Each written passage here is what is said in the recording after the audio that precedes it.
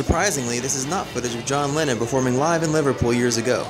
It is actually Tim Piper, star of the critically acclaimed show Just Imagine, which opens early next month.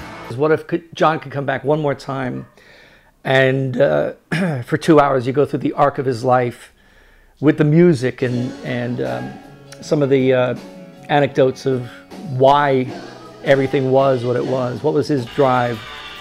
Why were these songs important?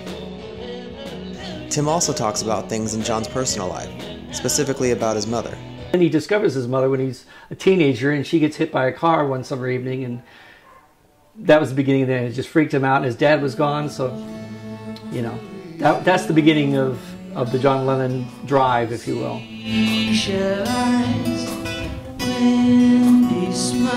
So how does Tim transform himself into John Lennon?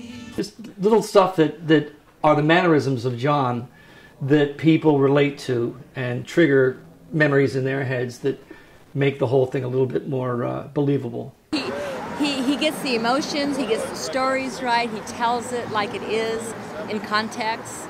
Uh, you're there. And he looks like him a lot. And sounds like him when he sings, which is really creepy. People never understood Yoko, all right? You got to understand, by the time I was 25, I've been everywhere. I've done everything. I lived out every fantasy you could possibly have imagined. And then some. It's a musical history lesson where, you know, you get to understand the man behind the, you know, mythology of all things John and the Beatles. Just Imagine will begin performing live shows here at the Hayworth Theater on June 8th. For tickets and information, visit justimaginetheshow.com. Reporting for Cougar News, I'm Justin Molson.